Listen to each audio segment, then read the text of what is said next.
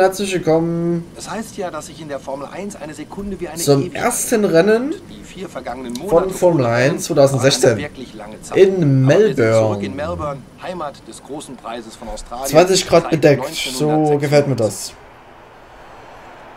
Gestern war ja ein bisschen Regen. Das heutige Rennen findet im australischen Bundesstaat Victoria statt und auf die Fahrer warten 16 Kurven, 5,3 Kilometer Streckenlänge und eine Durchschnittsgeschwindigkeit von ca. 193 km/h. Unfälle sind aufgrund der nahen Mauern fast unvermeidlich. Die vergangenen Jahre zeigen uns, dass ein Safety Car fast immer an der Tagesordnung ist. Heute und für den Rest der Saison nimmt neben mir in der Kommentatorenbox ein wirklich toller Kerl der einzigartige Jetzt sind wir also hier beim ersten großen Preis der Saison. Die Autos geben zum ersten Mal Gas. Was sind denn deiner Meinung nach die wichtigsten Fragen, die wir beantworten müssen? Zuallererst, Heiko, und danke für die wunderbare Vorstellung, möchte ich Folgendes sagen. Es ist wirklich ein Privileg, hier zu sein und ich kann es kaum erwarten, herauszufinden, was uns in dieser Saison erwartet. Um deine Frage zu beantworten. Natürlich bleibt abzuwarten, wie viel Performance die Autos zu bieten haben werden. Aber trotzdem geht es hauptsächlich um die Zuverlässigkeit. Es ist der erste große Preis der Saison und da willst du deinen neuen Teil natürlich alles abverlangen. Die Boliden stecken voller ausgeklügelter, aber auch hochsensibler Technologie. Daher wird es heute wichtig sein, das Ende des Rennens mitzuerleben und dafür zu sorgen, dass nichts kaputt geht. Und natürlich willst du dich auch von allen Problemen fernhalten. Akzeptable Strecke bis zur ersten Kurve. Vorsicht mit den Autos, die vor dir bremsen. Wir können von den Problemen anderer profitieren, aber sollten nicht selbst welche schaffen. Danke, Chef. Schauen wir uns die Ergebnisse des gestrigen Qualifyings und die Startaufstellung an, bevor es losgeht. Sebastian Vettel hat eine leere Strecke vor sich. Er startet von der Pole. Und daneben steht Nico Rosberg. Die restliche Startaufstellung sieht wie folgt aus. Raikönen, Hamilton, Max Verstappen und Bottas. Ricardo, Massa, Button und Nico Hülkenberg. Quert, Sainz Junior, Kevin Magnussen und Gutierrez. Grosjean, Nasser, Markus Eriksson und Jolion Palmer. Hayanto und ein Force India, Pascal Wehrlein und Fernando Alonso startet aus der hintersten Reihe. Die Lichter gehen bald aus, also schalten wir zur Strecke.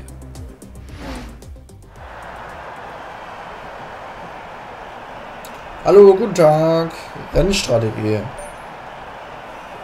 Es könnte regnen. Drei Boxenstops, vier Boxenstops.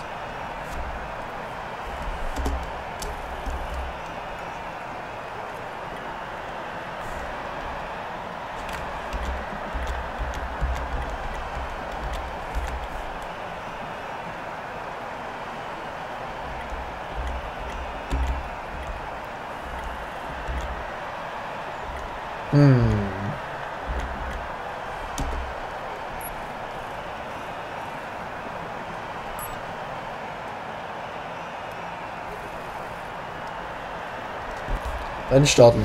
So wie ich das gesehen habe, gibt es 58 Die Runden. Kupplung F drücken. Drehzahl erhöhen. Erhöhe die Drehzahl und halte sie. Mit W. Auskuppeln. Los, los, los. 58 Runden! Der Hammer. Nicht lecken, nicht lecken, nicht lecken.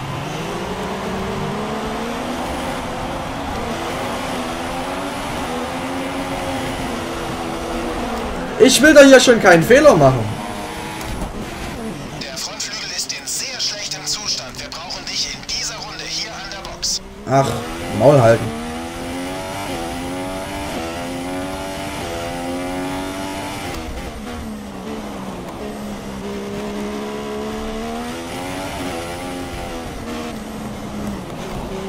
Sag mal, im, im Testrennen, wo ich nicht aufgenommen habe, war ich natürlich Dritter. Was ist passiert? Bist du in Ordnung? Sieben.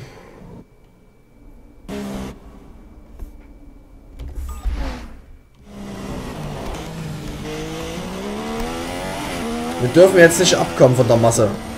Wir müssen uns wieder rankämpfen.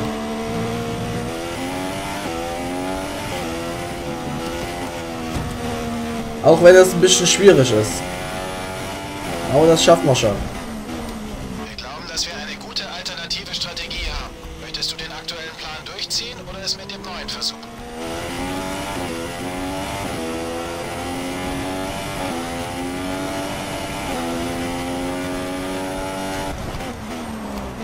Neu. Strategie ändern. Ich weiß nicht, wie man das gerade hochzieht. Ich muss mich gerade auf die Strecke konzentrieren.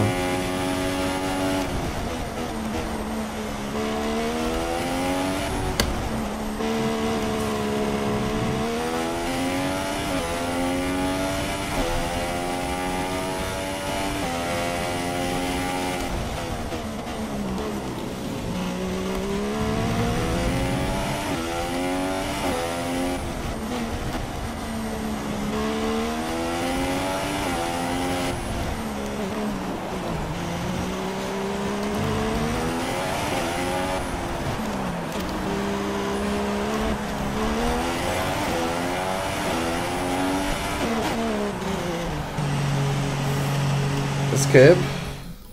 Ah, es war zu spät. Kann man eine Menge Zeit gewinnen oder verlieren. Halte dich also zurück, wenn du dich der Tempolimit-Linie der Boxengasse näherst. Während du dich ihr näherst, siehst du eine Benachrichtigung über das Tempolimit in der Boxengasse und die Entfernung zur Linie. Wenn du diese Grenze zu schnell überfährst, erhältst du eine Strafe für Geschwindigkeitsübertretung. Sei also vorsichtig. Okay.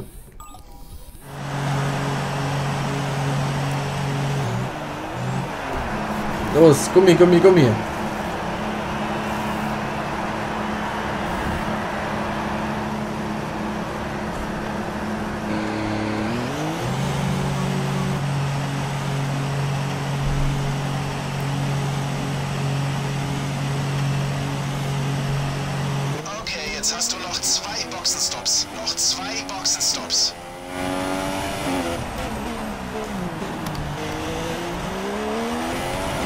Auch gut.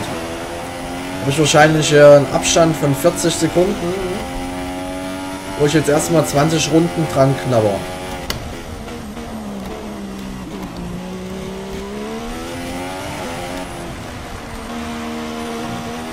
Und Legs. Die helfen. Ungemein.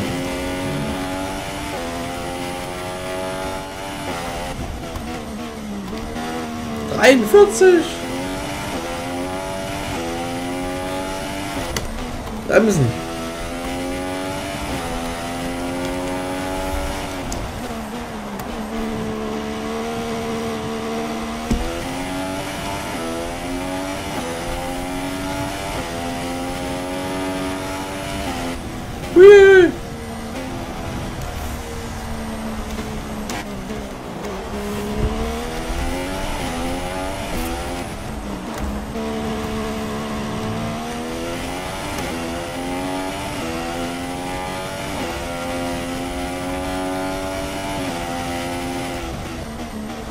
Es ist, glaube ich, erst der dritten Runde aktiviert.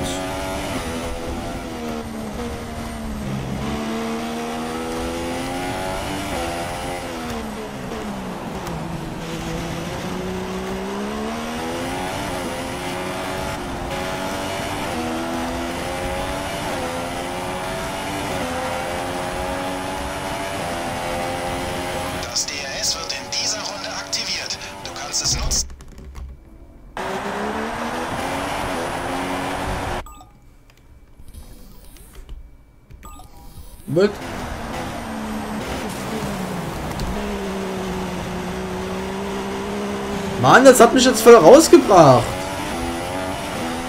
Bin ich jetzt draufgekommen?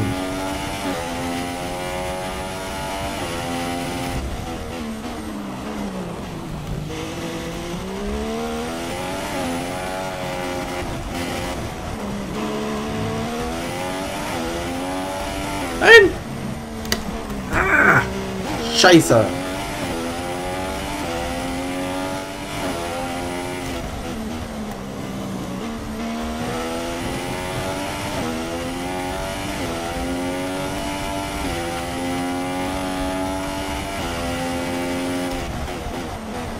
Ah, verdammt! Du musst vor den Kurven bremsen. Wir wollen keine Strafe aufgebrummt bekommen. Alles klar, Chef.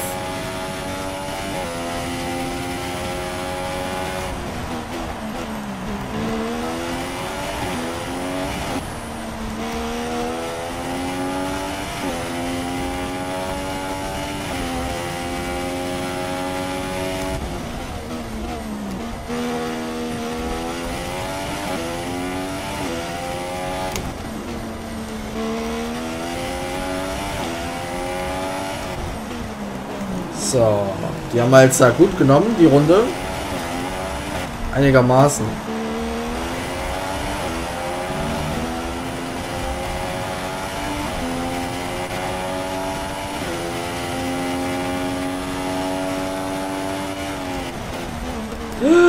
Und ich nehme das immer so scheiße, die Kurve, ja.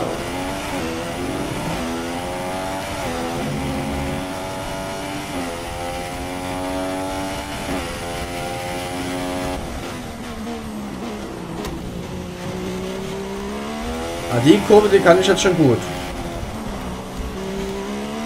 Die habe ich jetzt auch gut genommen. Und die habe ich jetzt auch gut genommen. Das ist schon mal vier Sekunden. Klappt doch ganz super. Da gibt es bestimmt wieder Runden, wo das wieder richtig scheiße läuft. Oder ich muss jetzt wieder in die Box. Das Wetter sollte erst einmal trocken bleiben. Wenn sich die Vorhersage ändert, sagen wir dir Bescheid. Dankeschön.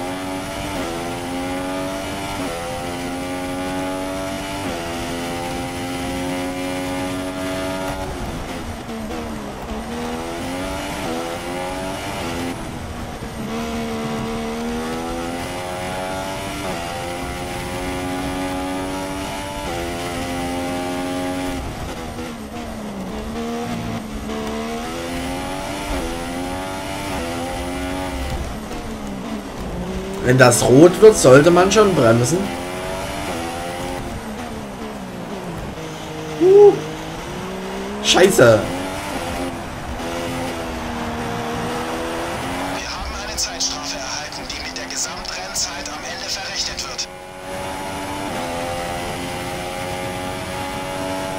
Aber ich steigere mich immer weiter.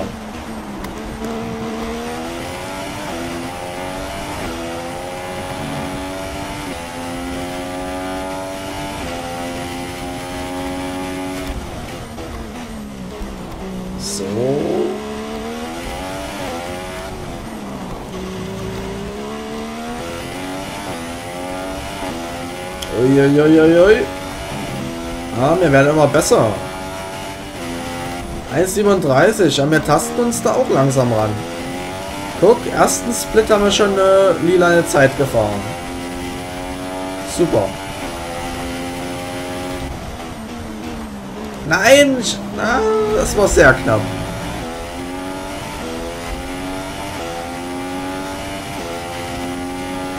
Vielleicht schaffen wir jetzt sogar die schnellste Runde. Schon wieder lilaner Split. Jetzt dürfen wir nur nicht machen, dass die Rundenzeit ungültig ist.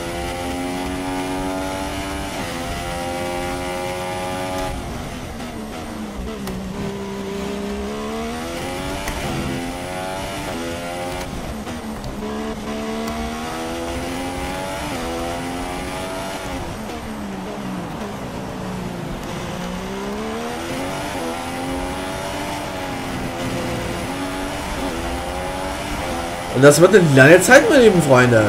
Und 3, 2, 1, ja. Der Abstand zum Auto vor dir beträgt 44,1 Sekunden. Es wird knapp. Aber wir haben eine Sekunde Abstand genommen. Jetzt haben wir wieder das versaut.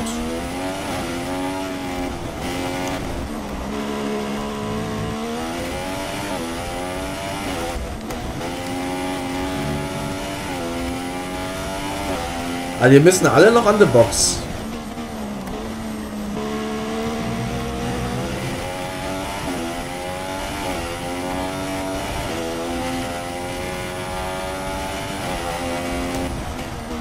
Und dann nutze ich nämlich die Zeit dann, um wieder aufzuholen.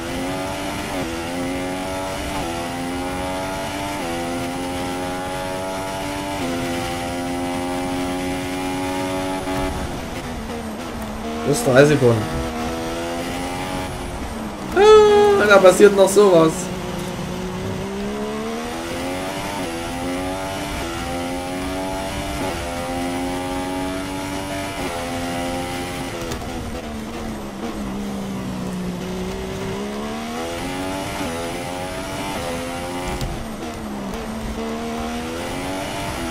Ich möchte, wenn mich die ersten wie überholen. Da ist nämlich schon einer.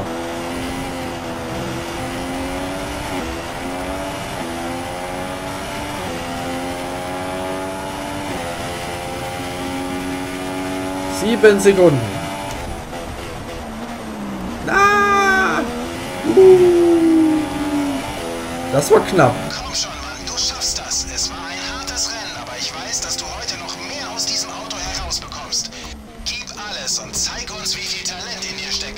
Natürlich. 47 Sekunden. Wie schnell ist der denn bitte?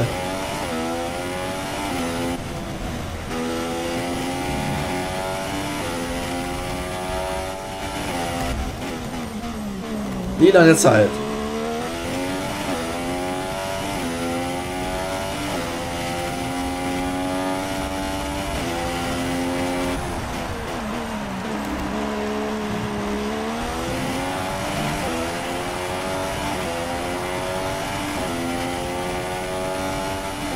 So, jetzt halten wir mal eine Linie hier.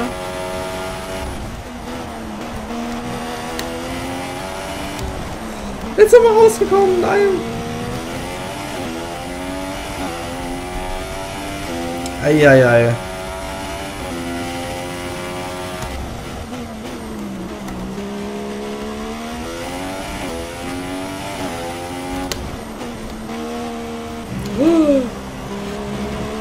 Jetzt habe ich mich verbremst.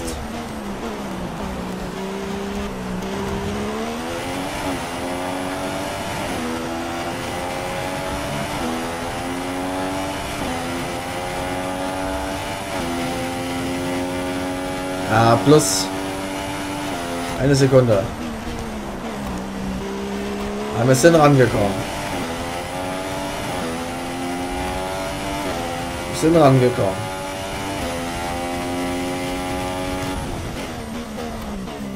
Wir dürfen bloß keinen Fehler machen. Wenn wir so weiterfahren, da sind wir ruckzuck an ihm. In äh, so gut wie 14 Runden.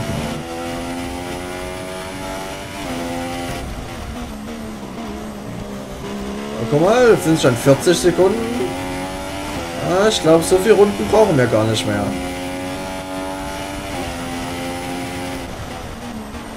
Oder ist er jetzt gerade in der Box? Spätestens im nächsten Abschnitt werden wir es erfahren.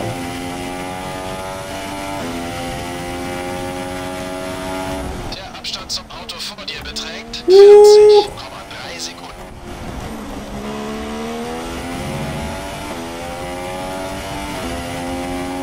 Finde ich gut.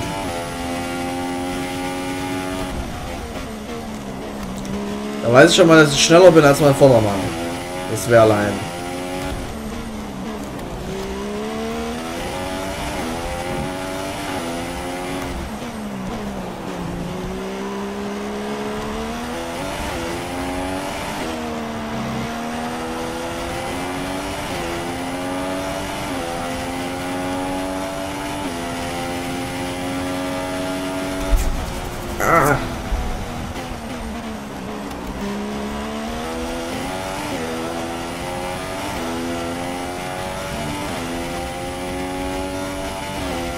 Meine Hand verkrampft.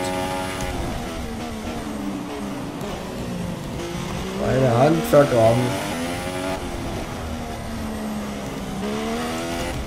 Muss mal ganz kurz äh, Hand wechseln.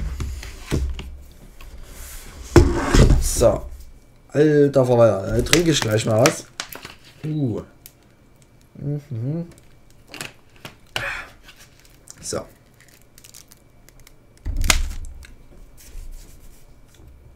Die ist voll verkrampft. Hammer.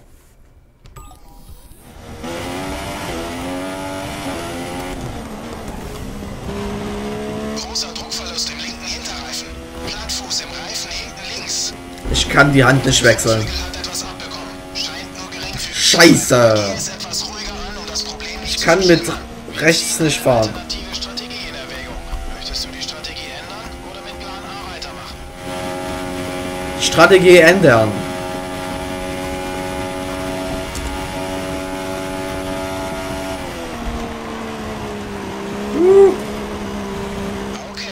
Chef, du musst mit dem Schneiden der Kurven aufhören, sonst verpasst dir die Rennleitung eine Strafe. Der Frontflügel ist schwer beschädigt und du hast viel Abtrieb am Wagen verloren. Komm an die Box, dann verpassen wir dir einen neuen Frontflügel. Alter Vater.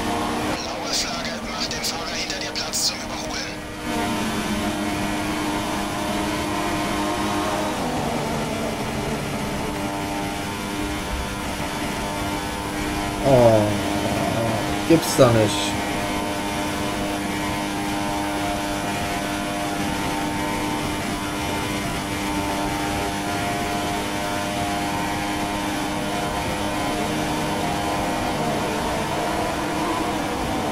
Deine Rundenzeiten fallen zurück.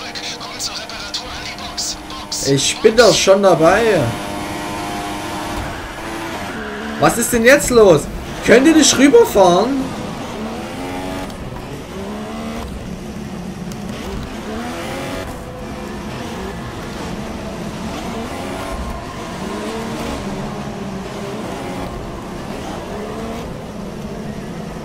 Rum. Alter, ich komme hier überhaupt nicht rum.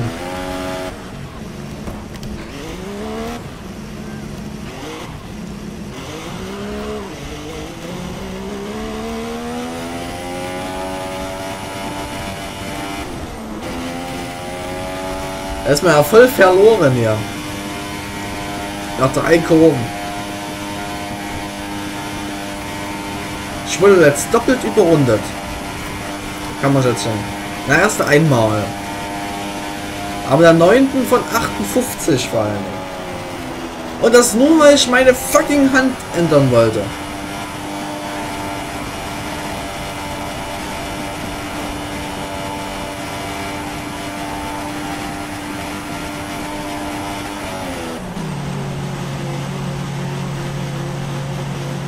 Alter Verwalter. Schon meinen zweiten Boxenstopp hinter mir. Die anderen noch gar nicht mal einen. Fertig. Los jetzt.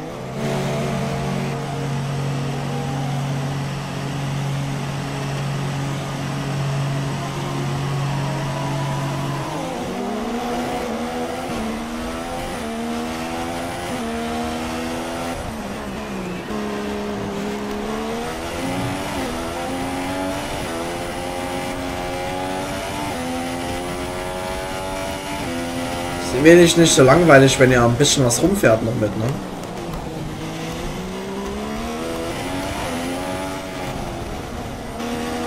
In etwa 10 Minuten wird es leicht zu regnen anfangen. Na klasse. Oh, nein! Ach, ist doch scheiße. Wir glauben, dass wir eine gute alternative Strategie haben. Mann.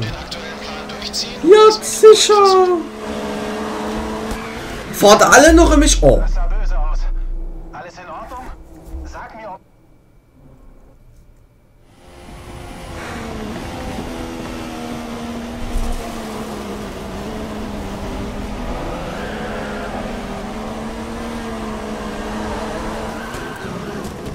Alter Verwalter. Damit ist für mich die Session.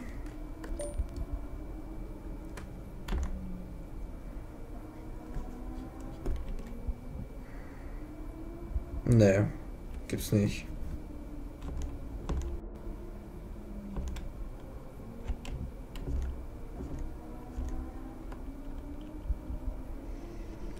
Eieieiei.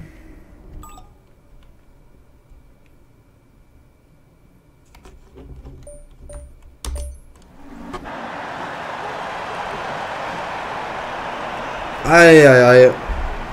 Ich bin äh, ab dem Totalschaden. Das heißt, Session vorbei. Schade.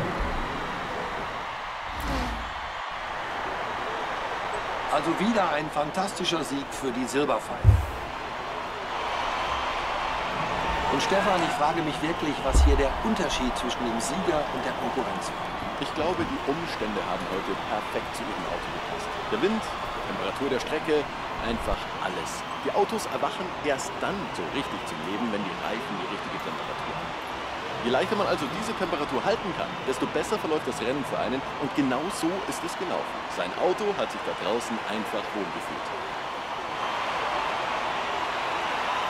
Und hier sind die Fahrer, die es nach diesem spannenden Rennen aufs Podium geschafft haben. Sie haben hier, wie so oft, alle Erwartungen übertroffen und feiern einen verdienten Erfolg.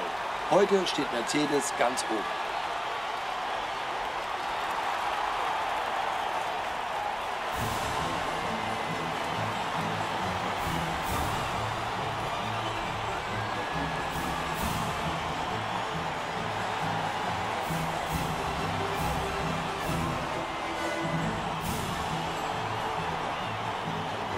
Sehen wir uns nun die Fahrerrangliste an. Lewis Hamilton übernimmt nach diesem ausgezeichneten Ergebnis die Führung. In Eieieiei. Stefan, wer war dein Fahrer des Tages? Fernando Alonso. Egal wo oder für welches Team. Gucken wir doch mal, was Wann für Zeiten. Großartig. Er sorgt immer für außergewöhnliche Leistungen. Ich habe eine ist wirklich Kommen wir zu den 1,38,0. Mercedes hat die Führung in der Rangliste übernommen. Was war das Ich wäre-? Wir hoffen, dass Sie auch nächstes Mal zu einer weiteren 16. spannenden Folge dieser 16. Formel 1 Saison dabei sind. Plus 3 Sekunden sind ja eine Minute und 2, nee, 41. Minute 41. Eieiei. Und die erste, der erste und das zweite sind ja ganz schön viel. Ne? Also fehlt nicht viel, auf jeden Fall.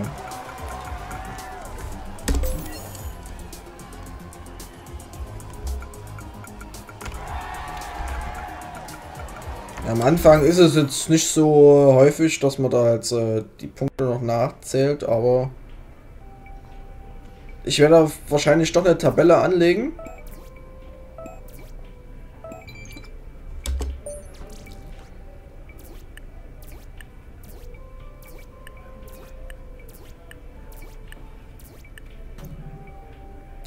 Ja, was kann ich denn dafür? Also jetzt werde ich meine drei Punkte verlieren.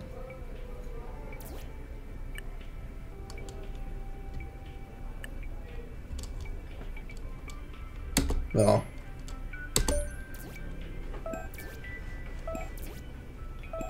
Super.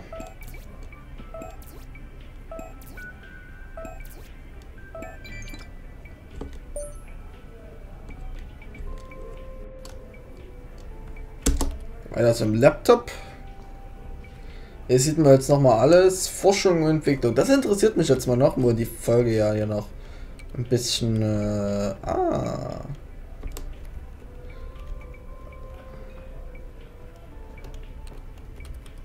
Gerade sagen. Torres. Das haben wir ja schon gemacht. Reifenmanagement haben wir noch nicht gemacht. Wahrscheinlich hier im äh, besten Bereich, im Lilan. Der ist.